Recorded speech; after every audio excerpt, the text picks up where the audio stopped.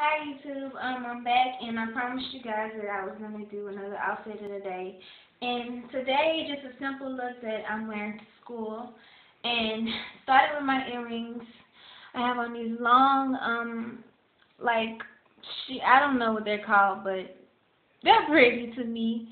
And I got these from Rio in New Orleans, and these were $7. Um, this ring from the mall um, you can find these in the Hello Kitty store. The smallest ones could be ten dollars, going up to at least forty-five, I think. Um, Hello Kitty bracelet. I got this from the mall also. Um, key necklace. My boyfriend bought for me, and I got this from Outfit Outlet. Um, plain black shirt that I got from Rainbow.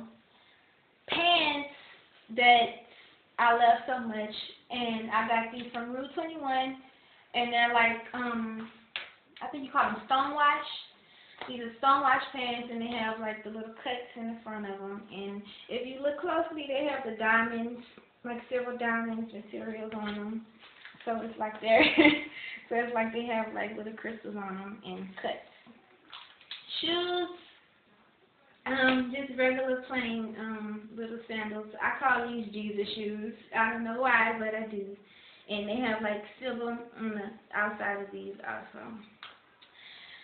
Um, makeup I have on just my what my MAC foundation, and then I have on my Maybelline palette, the Sapphire collection.